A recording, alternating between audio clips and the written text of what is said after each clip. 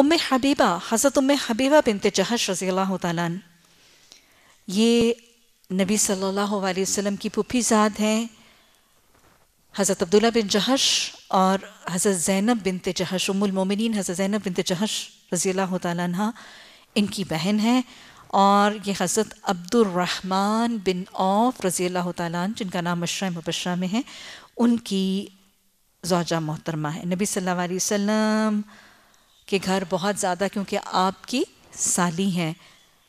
बहुत दफ़ा हमें नज़र आता है, नबी सल्लल्लाहु अलैहि वसल्लम का अपने ससुराल के साथ मोहब्बत, सिला रहमी और बेतकल्लुफ़ी से उनका आना जाना आपके दिल की कुशादगी और आपके हुसन मामलात और हुसन सलूक की गवाही देता है। हसरत अरदा बिनते अब्दुल मुत्तलिब, नबी सल्लल्लाहु अलैहि वसल्लम की हकीकी फुप्पी है। इनका निकाह उमैर बिन वहब के साथ हुआ और इनके सुल्ब से हज़रत तलीब रज़ी अल्लाह तन की पैदाइश। हज़रत तलीब रज़ी अल्लाह तन वो फ़र्जंद सवाले जिन्होंने बिल्कुल इब्तदाई इस्लाम में इस्लाम कबूल किया। रसूलुल्लाह सल्लल्लाहु अलैहि वसल्लम के पास आते, दीन सीखते, वालिदा ने अभी इस्लाम कबूल नहीं किया था। अलैहि वसल्लम की मदीना मक्का के माशरे के अंदर जो मुखालफत और जो इस्तजा का सिलसिला जारी था, हज़रत तलीब जब एक मौके पर आके उन्होंने अपनी वालदा को बताया तो भतीजे की मोहब्बत तो थी। देखें पुफियों के दिलों में भतीजे की मोहब्बत तो होती है, लेकिन ये मोहब्बत अबू तालिब के हाँ आपने देखा कि वो किस कदर नेगेटिव और किस कदर मस्बत रवैया मनफी रवैया अख्तियार कर गई। लेकिन हज़रत अबू तालिब के हाँ और इनके यहाँ एक पॉजिटिव रवैया बहरहाल नज़र आया। ये इंसान के रवैयों का फ़र्क है।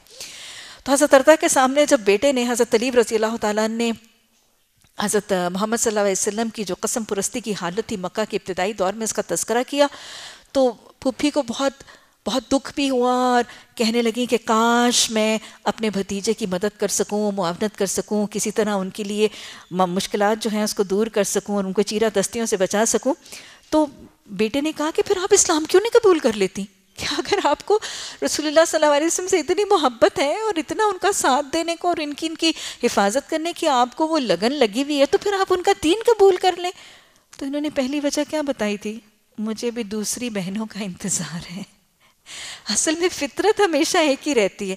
बस औकात, दीन के अहकाम को सही, दुरुस्त, समझ लेने, जान लेने, मान लेने के बावजूद कुछ लोग अमल से क्यों रुके रहते हैं?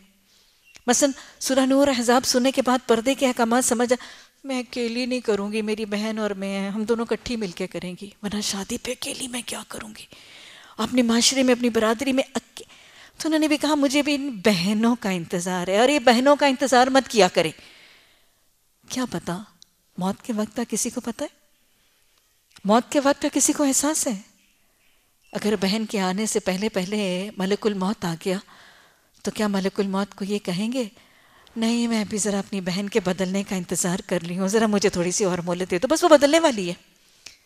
उसे कुरान क्रॉस ज्वाइन कर लिया है, बस वो ज़रा बदलेगी तो फिर हम दोनों एक ही दफ़ा बदलेंगी। नहीं तो उन्होंने कहा कि मुझे बहनों का इंतज़ार है। बेटे ने कहा, अम्मा अब इंतज़ार नहीं करो। मेरे साथ चलो और चलो, इस्लाम कबूल कर लो। कितनी खुश नसीब थी वो माएँ, जिनके बच्चे ऐसे सवाले थे, जिनके फर्जंद उनके घरों में मशले इस्लाम लाए। अल्लाह सुबहाना ताला हमारी भी रहनुमाई फरमा कि हम अपनी औलादों को इस्लाम के नूर से मुनवर करवाने वाली माएँ बन जाएँ। और अल्लाह हमारे बेटों को वो इस्लाम की मशलें बना दे जो हमारे सीनों को इस्लाम से मुनवर करने का ज़रिया बन जाए।